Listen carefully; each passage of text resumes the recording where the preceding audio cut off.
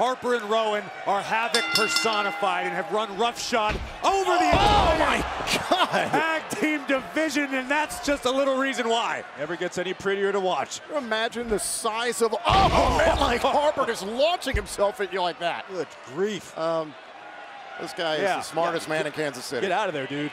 Maybe he can get a job at the Donut King.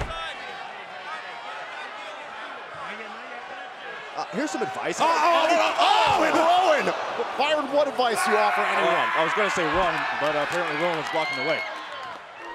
Call your mother, call a priest. Look at this. Call a doctor, call the police. The Bludgeon Brothers are absolutely ruthless. Call your health insurance, too.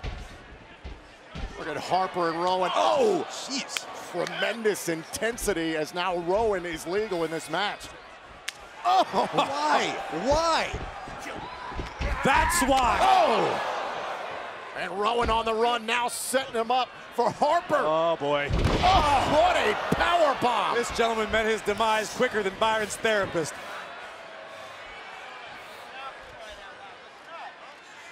This is only going to get worse, Thanks for gentlemen. coming. Oh no! Oh God, man.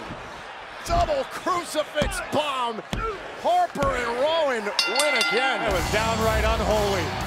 Here are your winners, the Bludgeon Brothers. Watching these two makes my stomach hurt. Good. Go to the bathroom for the rest of the night. Harper and Rowan are here for real for a long time. Oh, this is interesting.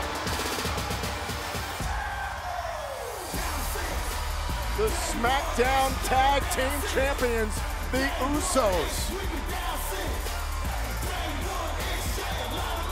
Talk about four combustible elements.